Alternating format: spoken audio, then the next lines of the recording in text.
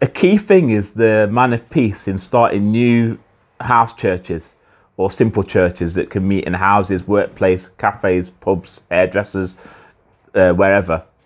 And uh, uh, in uh, Matthew 10 11, Jesus says, Whenever you enter a new town or village, search for a man of peace and stay in their home until you leave town. And in Luke 10, it says, uh, When you enter the house, give it your peace and say, The kingdom of heaven has arrived. Heal the sick that's in that house, drive out demons in that house, say, Let the peace stand in the house, and let the church start basically in the house where you disciple the people in that house. Jesus said, Don't move from house to house, but stay in the same place until you leave town. And uh, so when people go out evangelizing in towns um, or cities or wherever, um, it's not it's important not only just to preach the gospel and heal people, but to be searching who is the person of peace amongst these people that we're reaching, so that you can not only uh, scatter seed, but also you can grow a new church in that harvest. So, um, four things you can ask people when you heal them, or when you preach the gospel to them, or you share your story with them, or you meet a need when you go out in cities. You can say to them, Would you like to know more? Where can we meet you? So it's on their terms and their turf, in their place.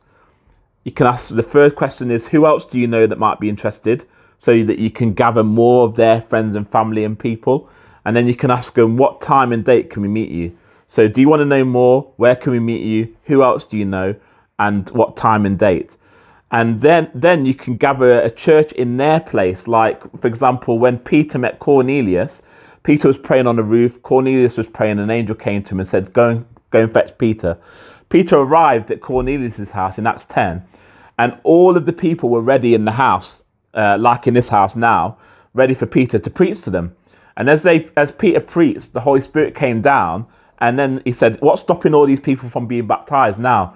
So not only did Peter find the person of peace, Cornelius, but all of the household were baptized and filled with the Spirit. So then the church met in Cornelius' house. That also happened with Lydia in Acts 16. Uh, she said, If I'm a person of peace, come and stay at my house.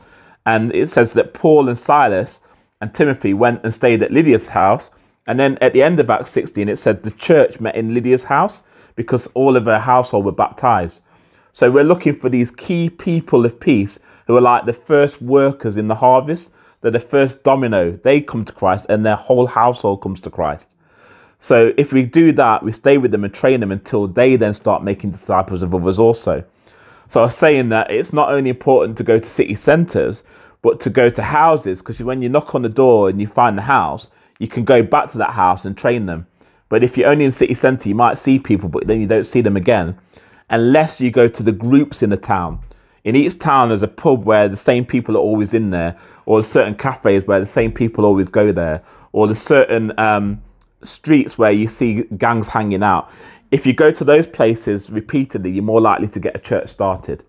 So we're looking for the person of peace and their oikos, their household, their circle of influence, so that we win them and we win the whole group. Example is Acts 16, right? About midnight, and they're just obeying what Jesus told them to do in, in, in that regard, in terms of how Jesus said to, to, to, to go about building churches and, and where to base themselves. Um, so about midnight, Paul and Silas were praying and singing hymns to God. They were finding joy in really difficult circumstances, like we talked about in prison.